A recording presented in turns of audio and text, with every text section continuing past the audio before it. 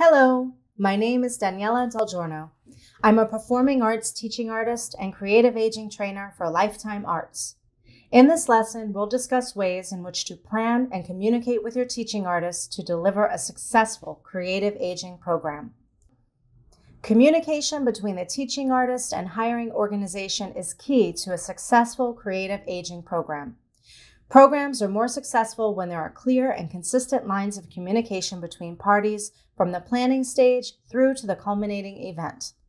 It's a good idea to set a weekly check in between the artist and the organization to problem solve and address unforeseen questions or issues.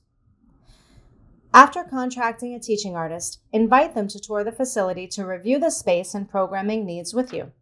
Be clear about protocols for accessing the space, including entry, keys, storage space, photocopying, time allowed in the space, and any other information the teaching artist will need to know. Address and delegate support tasks between the organization and teaching artist, such as who has responsibility for participant lists, surveys, supplies, emergency contact lists, attendance, and more. And finally, to keep communication open, Identify at least one main contact person for the teaching artist who will be the person that the teaching artist can always communicate with if they need support or have questions. Then also provide a contact list of all related staff the artist may need to engage with and who can also be additional people to call if the main contact is unavailable. Identify the best times and ways to be contacted. Different art forms will require different space and setup considerations. For example, dance and movement programs need different space and room setup than an oil painting class. It's important that the hiring organization and teaching artist work together to consider and choose where the program will take place and how the space will be set up. Address questions before the program to create a smooth transition into the beginning of the program for everyone. Are appropriate chairs, tables, lighting, site specific materials available for the class?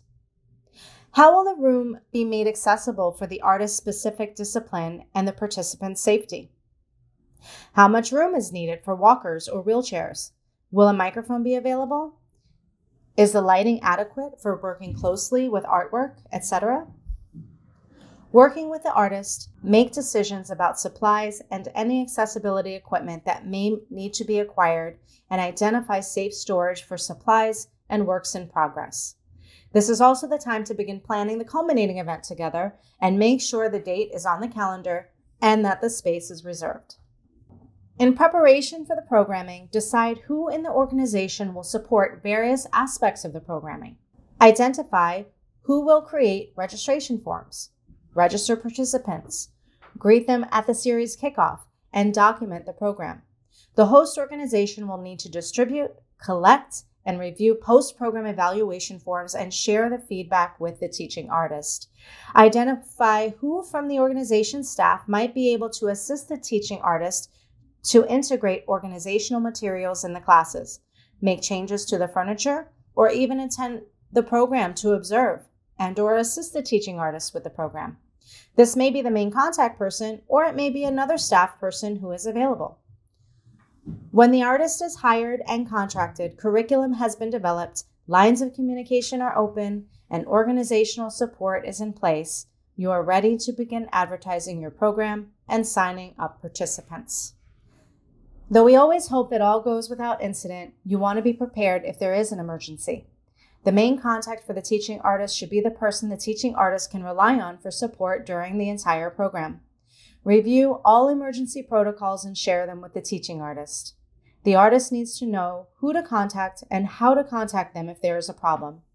If a teaching artist identifies a student that may need social service support, the teaching artist needs to share this information with the organization. It's not the responsibility of the teaching artist to seek out social service support. This is the responsibility of the host organization.